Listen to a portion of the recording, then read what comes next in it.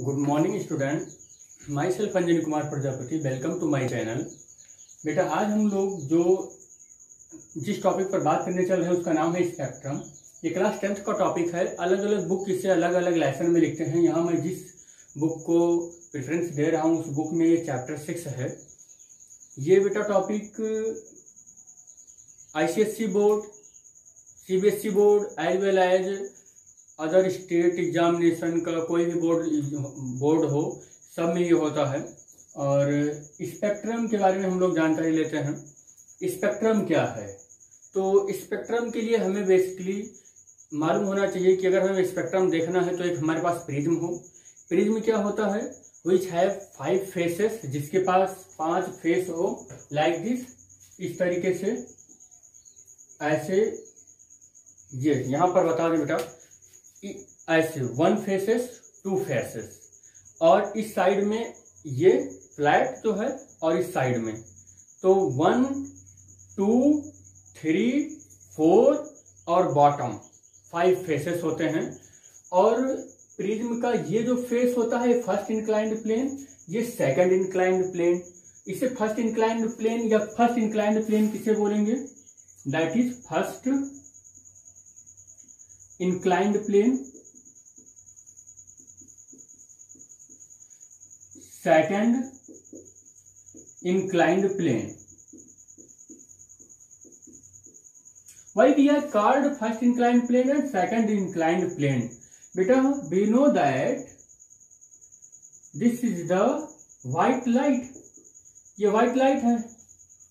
White light क्या होता है बेटा? This is the mixture of seven colour mixture of seven colour. जो सात कलर का मिक्सचर होता है तो जिस पर ये इसे हम लोग बोलते हैं इंसिडेंट रेज भी बोलते हैं। इंसिडेंट रेज या लाइट तो जिस पर इंसिडेंट लाइट जिस इंक्लाइंड प्लेन पर प्रिज्म के जिस इंक्लाइंड प्लेन पर व्हाइट लाइट इंसिडेंट होती है that is called first inclined plane और जिससे निकलती है ये लाइट सॉरी, जिससे निकलती है लाइट, उसे बोला जाता है सेकंड इंक्लाइंड प्लेन और ये जो लाइट है, ये सात कलर में स्प्लिट हो जाता है, सेवन कलर में स्प्लिट हो जाता है आफ्टर द रिफ्रैक्शन रिफ्रैक्शन के बाद ये सेवन कलर में स्प्लिट हो जाता है. और ये स्प्लिट होना बेटा one two three four five six seven wavelength के इंक्रीजिंग ऑर्डर में या डिक्रीजिंग ऑर्डर में होगा या फ्रीक्वेंसी के। तो इस ऑर्डर को ही हम लोग बोलते हैं spectrum which cheese incident of increasing order or decreasing order in the term of wavelength और frequency that is called spectrum तो हम इसकी डेफिनेशन भी ऐसे लिख सकते हैं। The beautiful the beautiful pattern of pattern of seven colour of white light white light passing through passing through a prism is called is called spectrum तो बेटा हम लोग स्पेक्ट्रम क्या होता है a beautiful pattern a beautiful pattern seven colour of the white light through a prism, passing through a prism is called spectrum इसी को हम लोग क्या बोलते हैं? स्पेक्ट्रम बोलते हैं। अब इस स्पेक्ट्रम में सेवन कलर कौन कौन से होते हैं? सेवन कलर होते हैं वायलेट इंडिगो यहाँ पर लिख देते हैं ऐसे one violet two indigo three, blue, four, green, five, yellow, six, orange, and seven, red. Red की वेवलेंथ ज़्यादा होती है। रेड की वेवलेंथ वेवलेंथ बहुत ज़्यादा होती है। वायलेट की वेवलेंथ कम होती है। तो ये मान, यहाँ पर हम इस पैटर्न को अगर हम स्पेक्ट्रम में शो करते हैं तो वायलेट टू रेड का ये स्पेक्ट्रम है, और वेवलेंथ का ये वेवलेंथ का इंक्रीजिंग ऑर्डर है मैक्सिमम है ये। तो ये पूरा स्पेक्ट इसी पूरे फेनोमिन को बोलते हैं स्पेक्ट्रम तो आप स्पेक्ट्रम को ऐसे भी डिफाइन कर सकते हैं। A beautiful pattern of the seven colour like this इस तरीके से a beautiful pattern of the seven colours of the white light is passing through a prism is called a spectrum. और स्पेक्ट्रम में वो seven colour क्या होंगे? Violet indigo blue green yellow orange और red वैसे तो बेटा इन्फिनिटी कलर होते हैं। बहुत सारे इसके, इनके, जैसे मान लेते हैं कि ये वायलेट है, ये इंडिगो है। तो वायलेट और इंडिगो के बीच में बहुत तरीके, बहुत कलर के कंस्ट्रक्शन होंगे। बहुत कलर इन्फिनिटी कलर बनेंगे। लेकिन हम लोग जो मेन मेन कलर है, वो सेवन कलर को मानते हैं या कह सकते हैं फंडामेंटल कलर जो होते हैं, ये स्पेक्ट्रम में ये होते हैं। तो ये स्पेक्ट्रम की पूरी हिस्ट्री है। Dispersion of light next heading है इस स्पेक्ट्रम चैप्टर में बेटा। तो डिस्पर्सन ऑफ़ लाइट क्या होता है? इसके लिए हमें यहाँ पर डिस्पर्सन के बारे में देखना होगा। तो डिस्पर्सन होता क्या है? Suppose that this is the prism ये प्रिज्म है। That is prism angle A D C first plane inclined plane पर व्हाइट लाइट आएगी। This is the white light white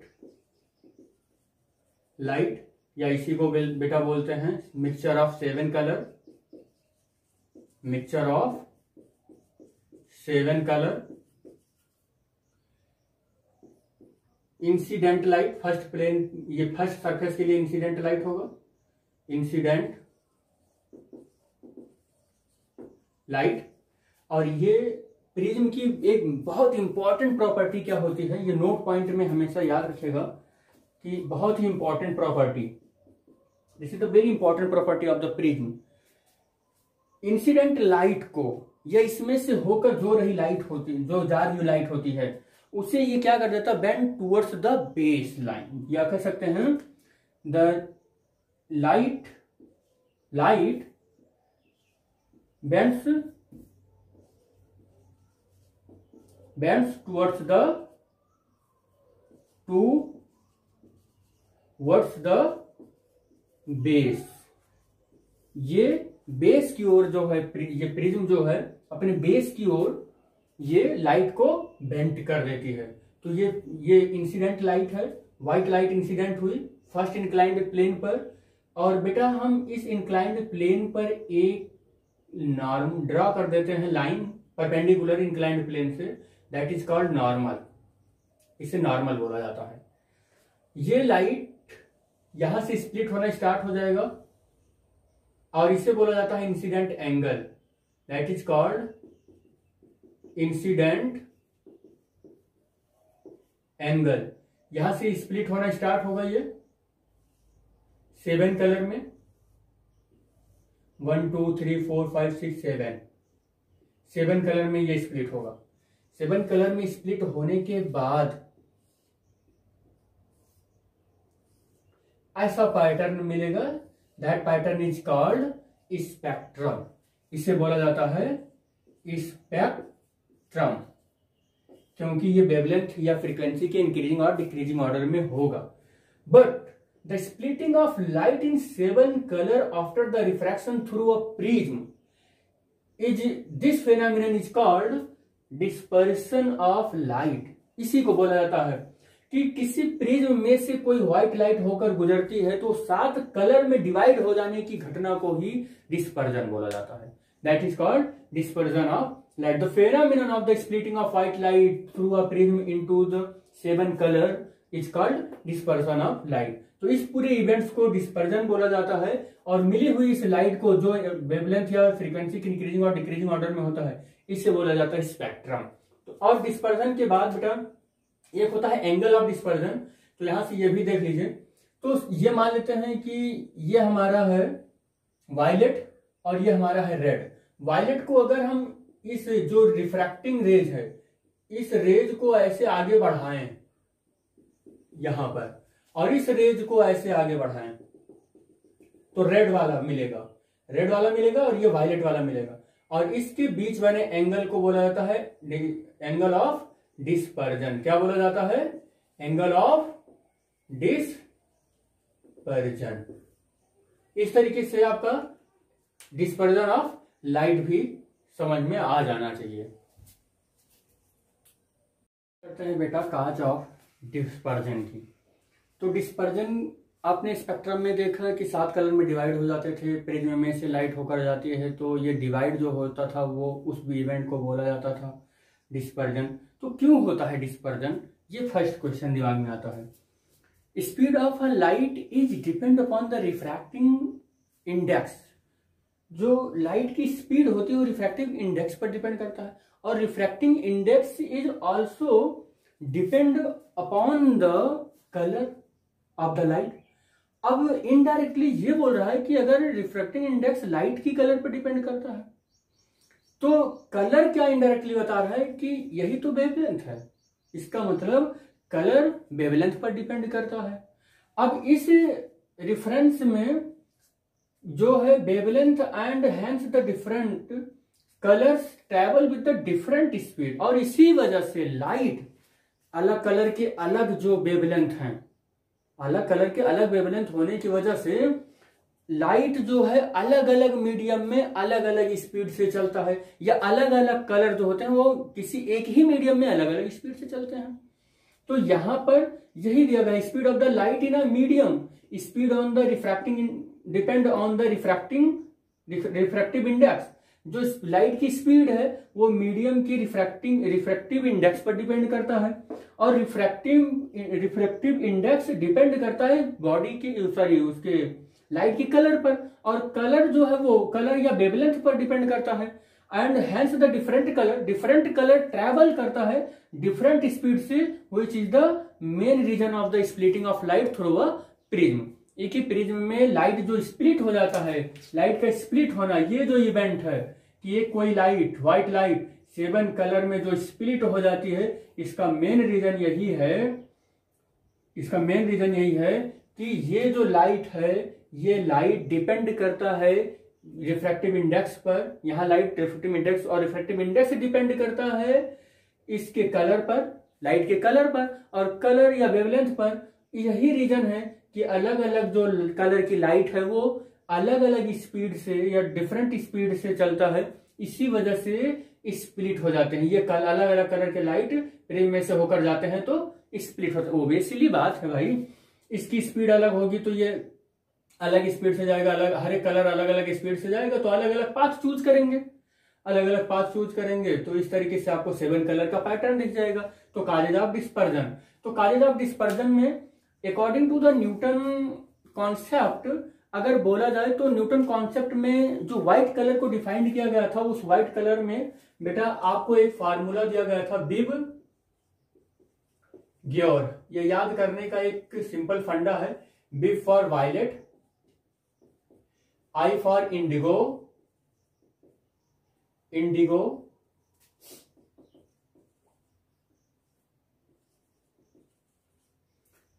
blue, green, yellow, orange, red. ये Newtonian, या कह सकते Newton के according ये व्हाइट कलर की में सात सेवन कलर के मिक्सचर बताए गए थे। और आज भी यही माने जाते हैं। Violet indigo blue green green yellow orange and red अब इस ये, यही न्यूटन बाबा ने यही चीज़ को बोला था कि that is called visual light इसी को बोला था कि visual light the mixture of seven colour इसी को बोला गया था विजुअल लाइट इसी की हेल्प से हम लोग देखते हैं ये विजुअल लाइट तो उन्होंने इसकी रेंज डिफाइंड की थी कि अगर वायलेट कलर होगा तो उसका वेवलेंथ 4000 टू 400 4460 एंगस्ट्राम से फ्रीक्वेंसी की रेंज बताई थी कि सेवन सात दशमलव पाँच से छह दशमलव सात तीन गुड़े दस की घात चौदह हर्ष होगा। तो इस तरीके से उन्होंने इंडिगो का बताया था। इंडिगो का चार हज़ार चार सौ साठ से चार हज़ार चार छह सौ चालीस, ये अगर एंगस्ट्रॉम वेवलेंथ होगी देन द फ्रीक्वेंसी रेंज इसका होगा six point seven three six point four seven into ten to the power fourteen hertz बेटा वेवलेंथ की यूनिट होती है एंगेस्ट्राम एंड फ्रीक्वेंसी की यूनिट होती है हर्ट्स और यहाँ multiply by ten to the power fourteen है, ये इसकी ऑर्डर है, ये इसका रेंज है। ब्लू का बताया था four hundred four thousand six hundred forty to five thousand angstrom wavelength होगा। अगर ये ब्लू कलर होगी तो और फ्रीक्वेंसी होगा इसका six point four seven four seven to six point zero one ten to the power fourteen hertz अगर green होगी तो फाइव थाउज़ेंड से to five five thousand seven hundred wavelength angstrom wavelength होगा। और अगर ग्रीन के हम फ्रीक्वेंसी की बात करें तो यहाँ से ग्रीन की frequency six point zero one two five point one nine into ten to the power fourteen hertz इसकी फिर वो होगी फ्रीक्वेंसी होगी। And yellow like this five thousand seven hundred eighty to five thousand nine hundred twenty angstrom wavelength होगा। And frequency range की बात करें हम येलो की five point one nine to five point zero seven ये ten to ten to the power fourteen hertz इसका होगा। Orange की बात करें for five thousand nine hundred twenty to six thousand two hundred इसका एंगस्टाम वेवलेंथ होगा और frequency range five point zero seven ten to four point eight four into ten to the power fourteen frequency range होगी orange की। Red की six thousand two hundred to eight thousand और इसकी होगी four point eight four to three point seven five ten to the power fourteen hertz तो इस तरीके से इसे पूरे को बोला गया विजुअल लाइट। और आप बेटा ध्यान से देखिए, न्यूटन ने कहा था कि विजुअल लाइट वे लाइट होते हैं जिनका wavelength four thousand to eight thousand होता है। विजुअल लाइट का रेंज क्या बताया था? विजुअल लाइट की विजुअल लाइट की वेवलेंथ की रेंज थी four thousand to eight thousand और फ्रीक्वेंसी की रेंज है seven point five into ten to the power fourteen hertz to three point seven five into ten to the power fourteen hertz ये Newton के according visual light की range थी और ये आपका पूरा स्पेक्ट्रम का स्पेक्ट्रम क्या होता है? और डिस्पर्जन क्या होता है? काज ऑफ़ डिस्पर्जन का पूरा एक्सप्लेनेशन है। Derivation produced in a ray of the light by a prism तो हम एक प्रिज्म के थ्रू देखते हैं कि डेरिवेशन क्या होता है। सपोज़ दैट बेटा जो प्रिज्म होता है, वो थ्री डी होता है बट हम यहाँ पर प्रिज्म को प्रिज्म को जब शो करेंगे तो टू डी में होगा। दिस इज़ द प्रिज्म हम सब लोग जानते हैं first inclined plane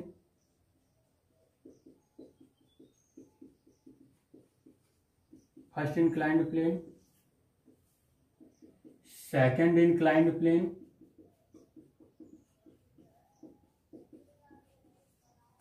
ये बेस होगा। This line is base this is prism angle which is represent capital A. This is the incident light. Incident light also called white light.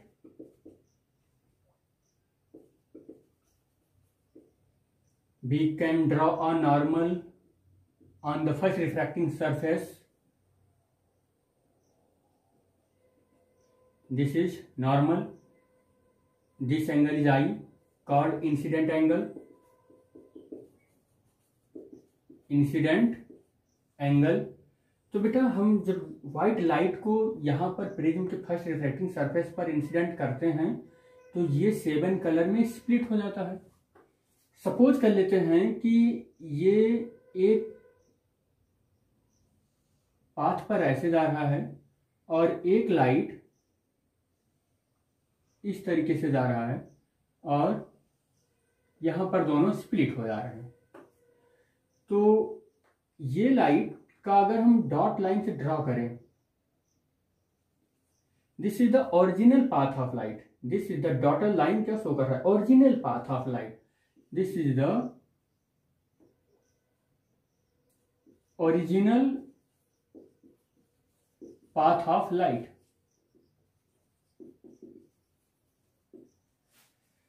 और ये refracted path of light है। अब यहाँ पर इस light को हम अगर मैच करवा दें, ये तो ये एक, ये डेविएशन शो कर रहा है। Suppose that this deviation is del two और इसे अगर हम देखें,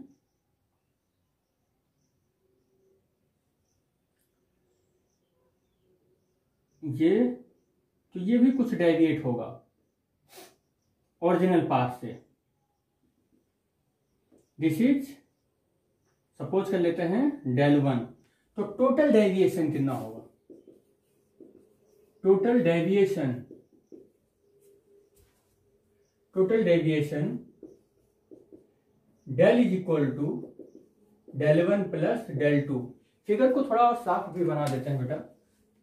बहुत इसमें थोड़ा सा वो हो गया रफ बन गया है। This is the incident light sorry ये इंसिडेंट लाइट है।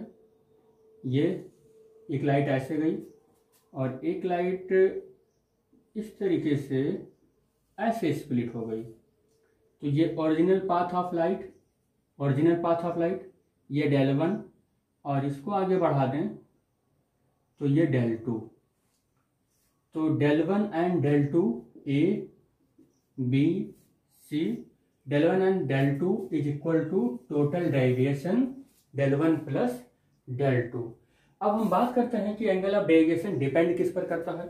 तो angle of deviation dependent of the angle of deviation तो फ़र्स्ट तो इस पर डिपेंड करता है कि इसकी रिफ्रैक्टिंग सरफेस से जो नॉर्मल है, उस नॉर्मल से incident light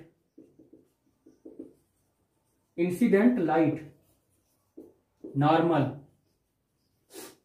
ये कितना एंगल बना रहा है? इसका मतलब angle of deviation is depend upon the incident angle I ये किस पर डिपेंड करेगा? आई पर. Angle of incident angle of incident sorry sorry बेटा इंसिडेंट एंगल इंसिडेंट एंगल पर डिपेंड करेगा. दूसरी बात एंगल ऑफ़ डेविएशन और किस पर डिपेंड करेगा? मटेरियल ऑफ़ प्रिज्म पर। मटेरियल ऑफ़ प्रिज्म पर। तीसरी बात, और किस पर डिपेंड करेगा? तो मटेरियल ऑफ़ प्रिज्म पर डिपेंड करेगा। तीसरी बात, कि ये किस पर डिपेंड करेगा? रिफ्रैक्टिंग इंडेक्स पर। रिफ्रैक्टिंग इंडेक्स को बेटा म्यू से रिप्रेजेंट करते हैं। रिफ्रैक्टिंग इंडेक्स इन तीनों चीज़ों पर डिपेंड करेगा। तो हम लोग इन आई में म्यू में, या हम ऐसा भी बोल सकते हैं कि डेल एक चीज़ पर और डिपेंड करेगा। प्रिज्म एंगल ए पर डिपेंड करेगा। प्रिज्म एंगल ए पर डिपेंड करेगा। तो इसमें हम एक रिलेशन जानते हैं। रिलेशन क्या है? Mu del is equal to mu minus one into A ये फार्मूला होगा। इसी के बेसिस पर एक कंपटेटिव भी फार्मूला है, जिसे हम बोलते हैं कैची ला। तो कैची ला जो है, वो refractive index mu is equal to होता है A plus B by lambda where A B is a constant and lambda is a wavelength of the light here in this formula mu is the refractive index is the prism prism angle यहाँ ये A जो है prism angle है। But कैचिला में ये A B क्या है? Constant है and lambda is wavelength mu refracting refracting index refracting index ये टोटल डेविएशन ये इस तरीके से deviation produced in a ray of light by a prism ये ये होगा ओरिजिनल पाथ और जो ओरिजिनल पाथ से लाइट जितना डेविएट होगी दैट इज़ कॉल्ड डेविएशन इसी को डेविएशन बोलते हैं। तो यहाँ से इस पूरे स्पेक्ट्रम के दो तीन हेडिंग जो थे इस पूरे इसका कॉन्सेप्ट है। थैंक यू बेटा। बेटा स्पेक्ट्रम में हम लोग जो कैची रिलेशनशिप है और formula del is equal to mu minus one into A पर based this is the angle of deviation and refractive index refractive index and prism angle तो इस पर बेस्ड हम लोग एक न्यूमेरिकल लेते हैं और उस न्यूमेरिकल पे प्रैक्टिस करते हैं और देखते हैं कि ये स्पेक्ट्रम का न्यूमेरिकल कैसे बन सकता है। तो complete complete the ray diagram इसका, इस गिवन फिगर का रे डायग्राम कंप्लीट करना है। When a mixture of blue and red light this is incident light and this is mixture of blue and red light ये जो इंसिडेंट लाइट है, ये रिफ्रैक्टिंग सरफेस के फ़र्स्ट इंक्लाइंड प्लेन पर यहाँ पर एक ब्लू और रेड कलर का लाइट इंसिडेंट हो रही है और बोल रहा है कि फॉल ऑन द प्रिज्म जो प्रिज्म के सरफेस पर फॉल हो रहा है विच कलर डेविएट मोर कौन सा कलर ज़्यादा डेविएट होगा? ये आपको पता लगाना है और इसका रे डायग्राम भी कंप्लीट करना है। तो we know that the angle of deviation का ये फॉर्मूला भी जानते हैं, Cauchy relationship.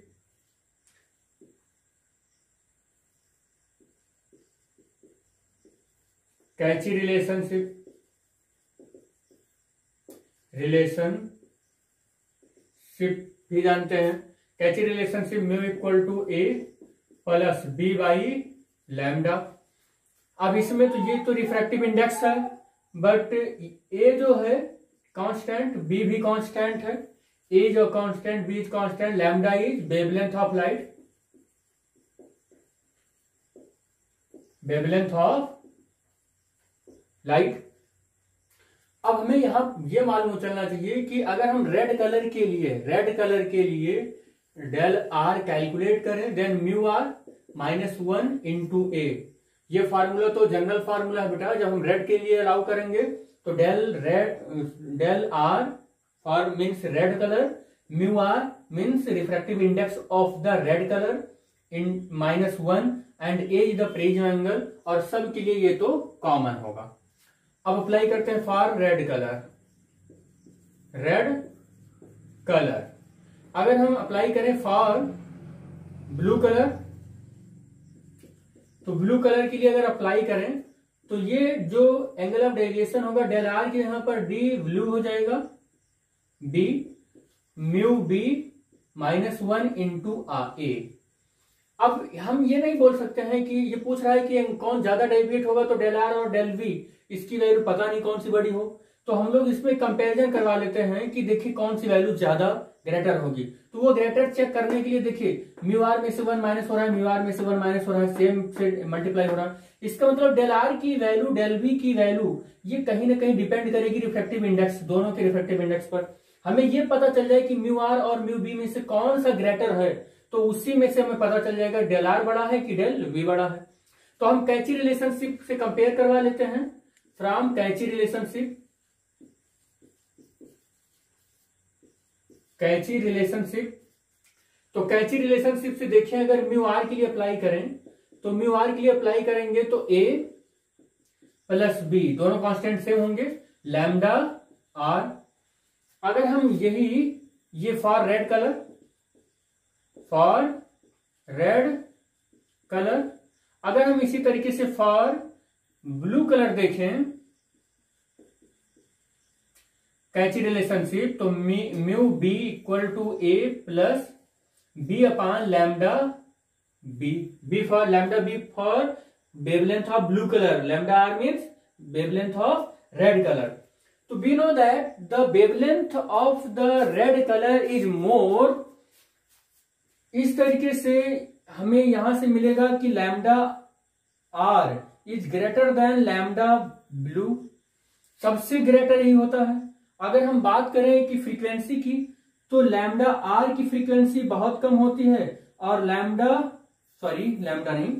अगर फ्रीक्वेंसी को बेटा हम लोग एफ़ से लिखें तो एफ़ आर की फ्रीक्वेंसी बहुत लेस होगी और वायलेट की फ्रीक्वेंसी ज़्यादा होगी। यानी कि अगर हम रेड से वायलेट कलर की ओर चलें तो फ्रीक्वेंसी की डिक्रीजिंग ऑर्डर मिलती है। फ्रीक्वेंसी की डिक्रीजिंग ऑर्डर मिलती है। बट अगर हम वायलेट से वायलेट से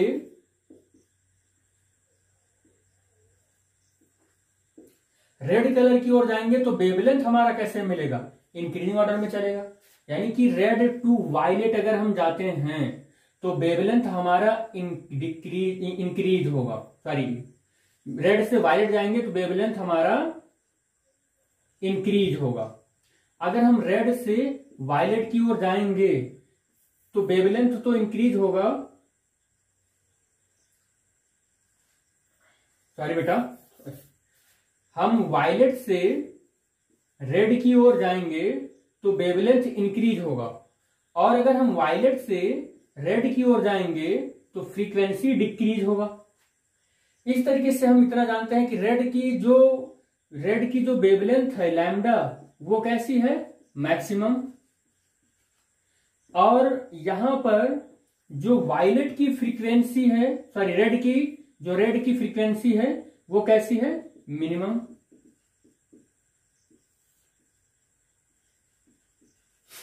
इस तरीके से अगर lambda R is greater than lambda V तो उसी बीच में कहीं पर ब्लू आता है।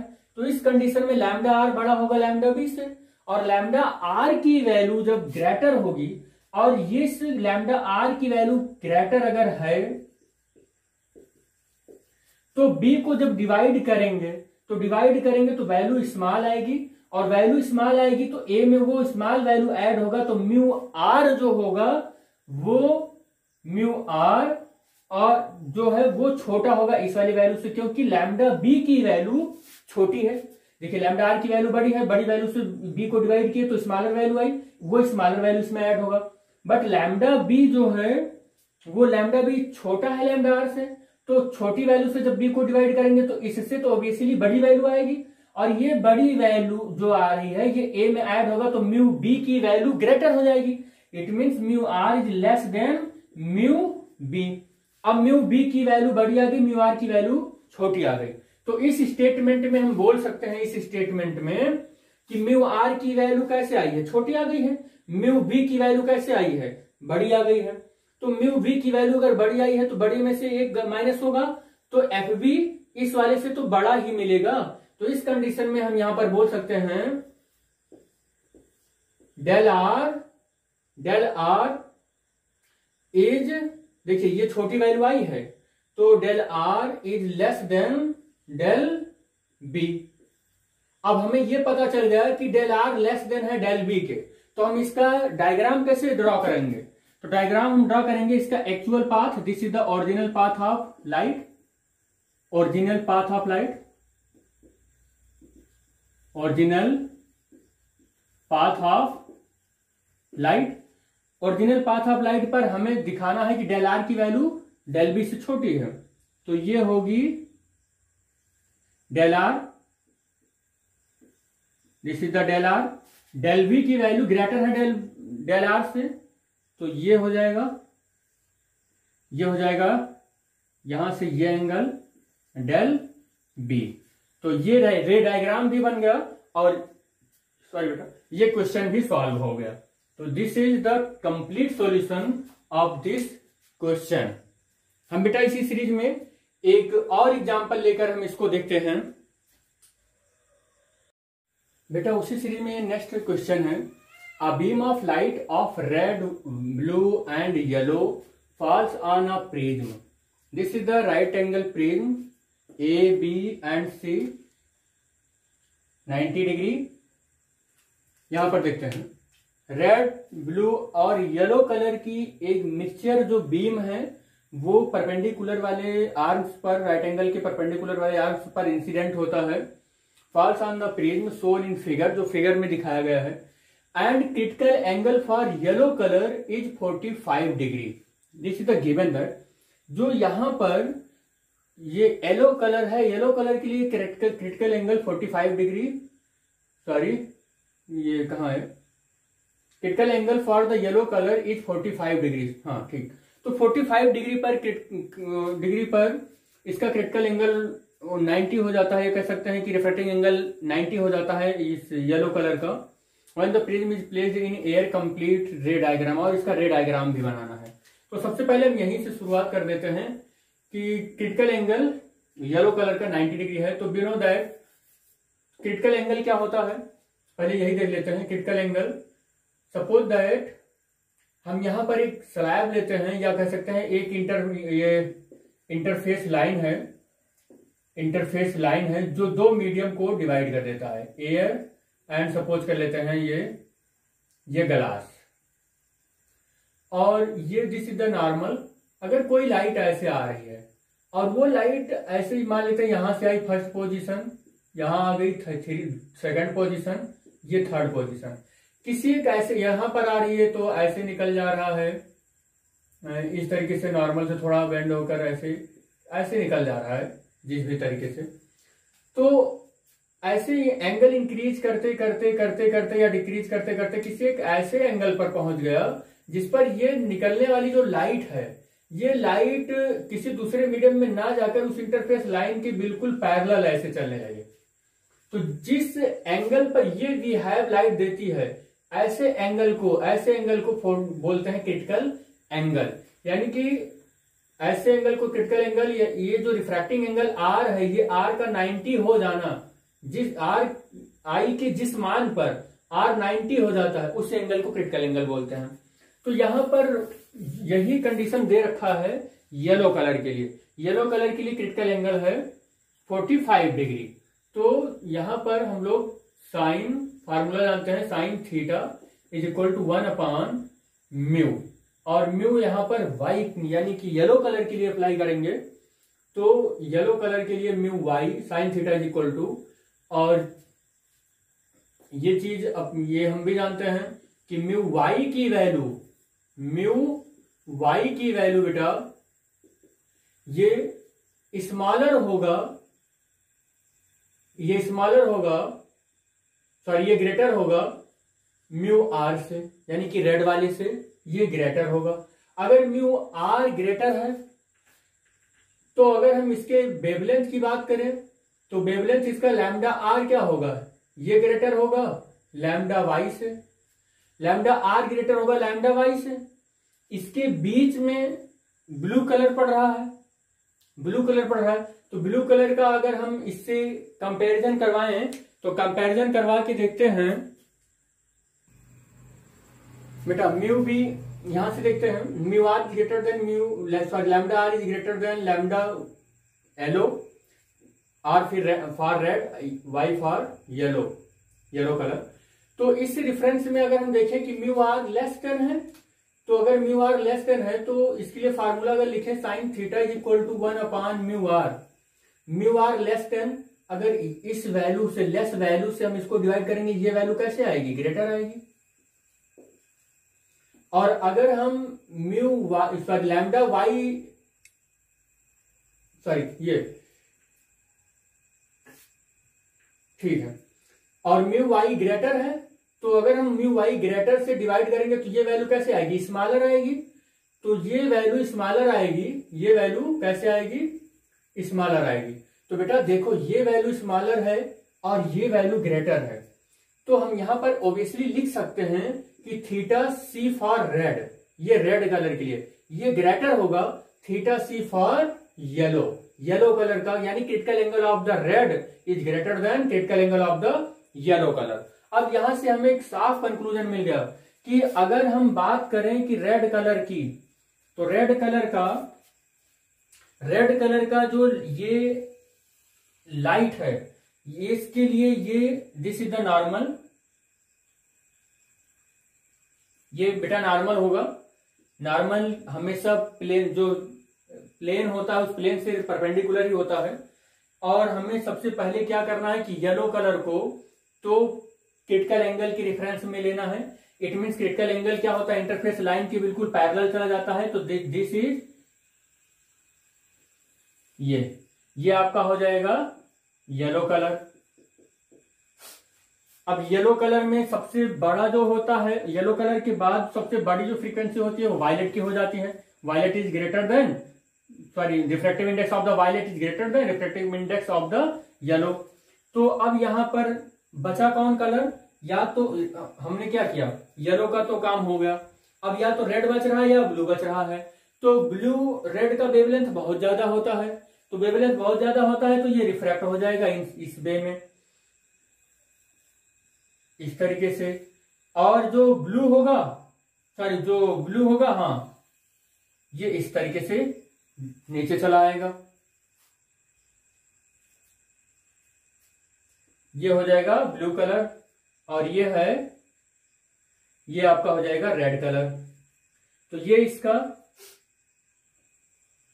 ये 45 डिग्री पर होगा। यहाँ पर एक कंक्लूजन और भी बोल सकते हैं हम कि ये नॉर्मल है तो इसका जो एंगल है रिफ्रैक्टिंग एंगल है ब्लू कलर का, ये ये जो होगा, ये लेस देन 45 डिग्री होगा। लेस देन 45 डिग्री होगा।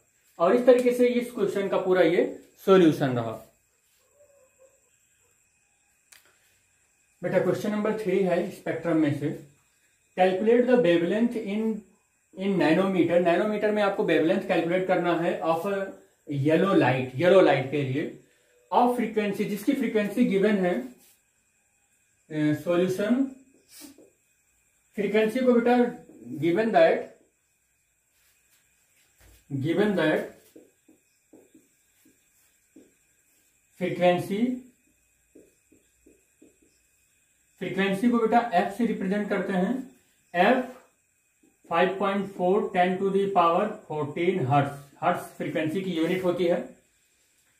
आगे क्या गिवन है? The speed of light speed of light speed of light इसे सी से रिप्रेजेंट करते हैं और सी की वैल्यू दी गई है थ्री लाख। लाख मीन्स बेटा होता है one, two, three, four, five, zero. Three, one lakh और into kilometre. Kilometre means one thousand metre upon second अब सी की वैल्यू क्या होगी? One, two, three, four, five, six, seven, eight. Three into ten to the power eight metre upon second अब ये हमें इतना given that है solve कैसे करेंगे? तो एक फार्मूला हम लोग जानते हैं। फार्मूला होगा होगा C equal to F lambda C speed of light F frequency lambda wavelength of light C की जगह पर फार्मूले में इसे रखेंगे three into ten to the power eight F की जगह पर हम ये फार्मूला वैल्यू रखेंगे four point five sorry five point four into ten to the power fourteen hertz into lambda जो है हमें फाइंड आउट करना है। लैमडा तो क्वेश्चन मार्क ही है। Lambda equal to question mark अब बेटा सॉल्व कैसे करेंगे? Lambda is equal to three into ten to the power eight upon five point four into ten to the power fourteen solve करो इसे। तो सॉल्व करेंगे, यहाँ से दशमलव कैंसिल करेंगे, एक ज़ीरो ऊपर ले लेंगे। फिफ्टी फोर आ जाएगा। टेन टू दावर यहाँ से माइनस करिए कितना हो जाएगा? माइनस सिक्स इसको सॉल्व करेंगे, कितना आ जाएगा? लैमडा इज़ इक्वल टू अगर हम थ्री से डिवाइड करें, थ्री वन जा थ्री, टू, थ्री एट जा ट्वेंटी फोर, थ्री टेन जा थर्टी। टू से डिवाइड करेंगे तो five by nine into ten to the power minus six. और सॉल्व करेंगे तो nine zero point five five, बस इतना ही लेते हैं, ten to the power minus six. Nano में कैलकुलेट करना है तो लैमडा इज़ इक्वल टू, यहाँ लिख देते हैं लैमडा इज़ इक्वल टू मेरे ख्याल से होगा five five zero into ten to the power minus nine metre ये मीटर में है. ये सब मीटर में चल रहा है. अच्छा ये माइनस नाइन आया कैसे? इसको देखते हैं तो जब भी ये डेसिमल को हम राइट साइड ले जाते हैं तो डिग्री हमारी नेगेटिव इंक्रीज होती है. तो हम यहाँ पर वन टू और अगर हम नैनो हमें लाना है तो फाइव फाइव कर दिए। Ten to the power minus eight हुआ। लेकिन अभी नैनो लाना है तो हम क्या करेंगे? फाइव फाइव एक ज़ीरो ले लेंगे ten to the power minus nine metre हो जाएगा। ये लैमडा की वैल्यू नैनोमीटर में आ गया। Ten to the power minus nine ये आ गया इसका आंसर इसी के तरीके एक और न्यूमेरिकल है। If range of frequency for a light किसी लाइट के लिए फ्रीक्वेंसी की रेंज गिवन है। ये given that solution में given that range of frequency तो हम फ्रीक्वेंसी को F1 से रिप्रेजेंट करते हैं 3.75 10 टू दी पावर 14 हर्ट्स और यहाँ पर बेबलेंथ कैलकुलेट करना है, ये कैलकुलेट करना है। बेबलेंथ ये फ्रीक्वेंसी है बेटा, ये बेबलेंथ है। This is the wavelength, this is the frequency.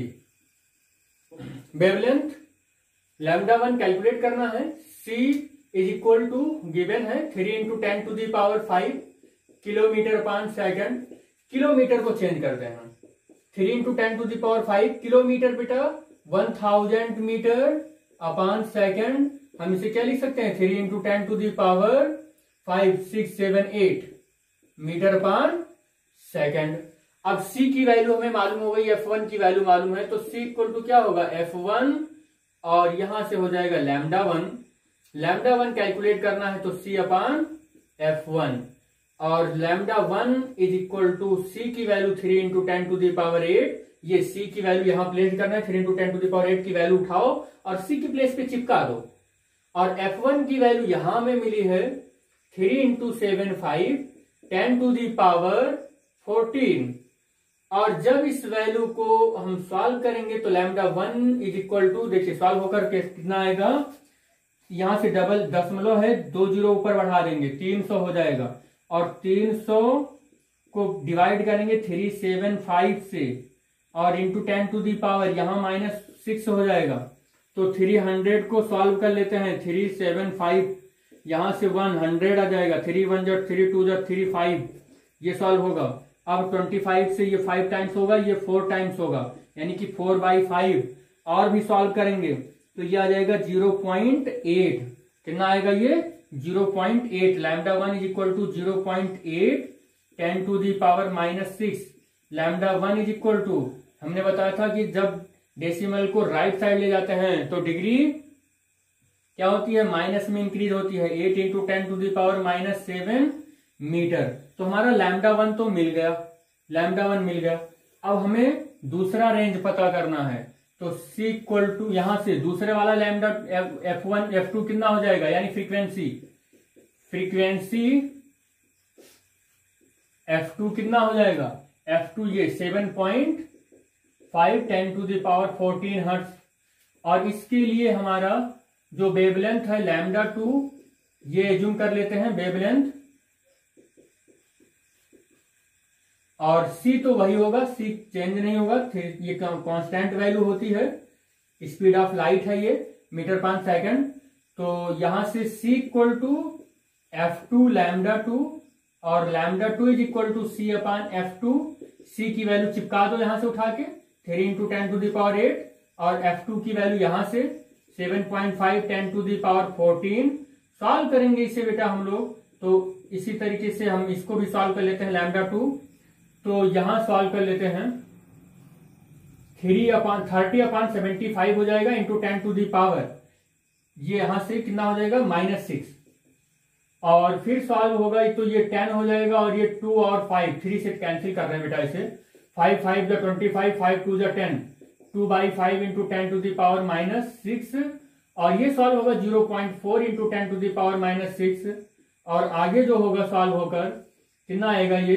अगर हम डेसिमल को राइट साइड ले जाते हैं तो डिग्री माइनस में इंक्रीज होती है तो four into ten to the power minus seven metre lambda two की value zero point sorry four into ten to the power minus seven metre आएगा। तो रेंज ऑफ़ वेवलेंथ कितना होगा बेटा इसका? Range of wavelength range of wavelength four into ten to the power minus seven metre to eight into ten to the power minus seven metre होगा। Eight into ten to the power minus seven metre to four into ten to the power minus seven metre होगा। ये इस question का complete solution है। ठीक बेटा, इस पर फोर न्यूमेरिकल हो गए। कल हम लोग आगे इसके पढ़ेंगे। Thank you